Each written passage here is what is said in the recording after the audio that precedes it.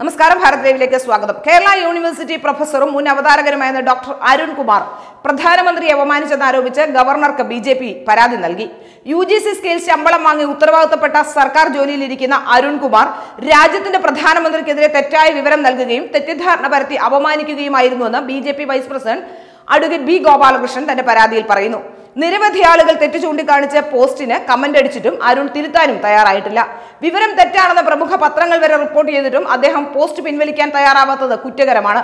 അതുകൊണ്ട് ഗവർണറുടെ കീഴിൽ വരുന്ന യൂണിവേഴ്സിറ്റിയിലെ അധ്യാപകനായ അരുൺകുമാറിനെതിരെ ശക്തമായ നടപടി എടുക്കണമെന്നും പ്രധാനമന്ത്രിക്കെതിരെ തെറ്റായ വാർത്ത പ്രചരിപ്പിക്കുന്നത് ഐ ടി ആക്ട് പ്രകാരം കുറ്റകരമാണെന്നും ഗോപാലകൃഷ്ണൻ പരാതിയിൽ പറയുന്നു. പരാതിക്ക് അടിസ്ഥാനമായ അരുൺകുമാറിന്റെ പരാമർശം ഇങ്ങനെയാണ്. ടെലിപ്രോംപ്റ്റർ പണിമുടക്കിയാൽ കാറ്റിൽ ഉടുതുണി പാറിപ്പോയ അവസ്ഥയാണ് പറയുന്നത് എന്തെന്നറിയാത്തവർക്ക്. ന്യൂസ് ഫ്ലോറുകളിൽ ഇടയ്ക്കിടെ നോക്കാതെ പണി ചെയ്ത ചിലർ പണി വാങ്ങി വെക്കാറുമുണ്ട്. പക്ഷേ അപ്പോൾ പോലും തപ്പിത്തടഞ്ഞ് എണ്ണീറ്റ് പോകാറുമുണ്ട്.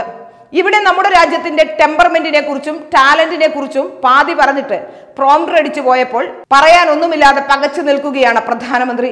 ലൈവായി ഒരു പത്രസമ്മേളനം പോലും എന്തുകൊണ്ട് ഈ പ്രധാനമന്ത്രി നടത്തുന്നില്ല എന്ന ചോദ്യത്തിന് ഉത്തരമായി അഹമ്മദ് നഗർ കോട്ടയിലെ ജയിലിനുള്ളിലിരുന്ന് ഇന്ത്യയെ കണ്ടെത്തൽ എന്ന പുസ്തകം എഴുതിയ ഒരു പ്രോംറൂമില്ലാതെ മനുഷ്യഹൃദയങ്ങളോട് സംസാരിച്ച ഒരു മനുഷ്യൻ നിന്ന ഇടത്താണല്ലോ പ്രോംപ്റ്റർ ഇല്ലാതെ വിയർക്കുന്ന ഒരാൾ നിൽക്കുന്നത് എന്നതാണ് ആശങ്കപ്പെടുത്തുന്നത്. സ്വാതന്ത്ര്യത്തിന്റെ രാത്രിയിൽ തയ്യാറാക്കിയ കുറിപ്പ് മിസ്സായപ്പോൾ നെഹ്റു തന്റെ വിഖ്യാതമായ ട്രൈസ്റ്റ് വിത്ത് ഡെസ്റ്റിനി പ്രസംഗം കുറിച്ചത് പ്രസംഗപീഠത്തിൽ നിന്നാണ്. മിനിറ്റുകൾക്കുള്ളിൽ. ശരിക്കും ഇതാണ് വിധിയുമായുള്ള ഒരു പ്രധാനമന്ത്രിയുടെ കൂടിക്കാഴ്ച എന്ന് പറഞ്ഞുകൊണ്ടാണ് അരുൺകുമാർ തന്റെ ഫേസ്ബുക്ക് പോസ്റ്റ് അവസാനിപ്പിക്കുന്നത്. അരുൺകുമാർ ഇടതുപക്ഷ സഹയാത്രികനായ ഒരു അവതാരകനാണെന്ന് നേരത്തെ മുതൽ തന്നെ ആരോപണം ഉണ്ടായിരുന്നു ഇടതുപക്ഷത്തെ അന്ധമായി അനുകൂലിക്കുന്ന ഒരു അവതാരകൻ പ്രധാനമന്ത്രിയെയും ബി ജെ പിയെയും കൊട്ടാൻ കിട്ടുന്ന ഏതവസരവും ഭംഗിയായി വിനിയോഗിക്കുന്ന ആൾ. അതും പോരാഞ്ഞ് യോഗയടക്കമുള്ള എല്ലാത്തിനെയും പുച്ഛത്തോടെ കാണുന്ന ബുദ്ധിജീവി നാഠ്യമുള്ള ഒരാൾ.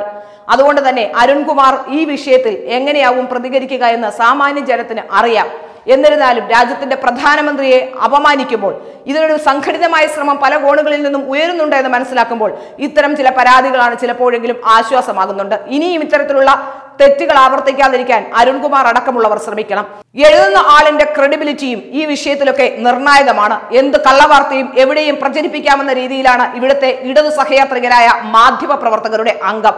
കേരളത്തിൽ ഇടതുപക്ഷത്തിന് വലിയ പ്രാമുഖ്യമുള്ളതുകൊണ്ട് തന്നെ അവരുടെ നിലപാടുകൾ മാത്രം നിലപാടുകളായി അംഗീകരിക്കപ്പെടും കൊട്ടിഘോഷിക്കപ്പെടും.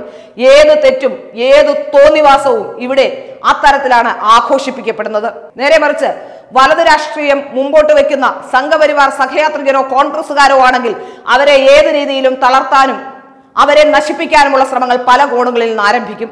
അതിനുള്ള സംഘടിത ശ്രമങ്ങളും നടക്കുന്നുണ്ട്. നമുക്ക് വ്യക്തമായി അറിയാവുന്ന ചില കാര്യങ്ങളുണ്ട്.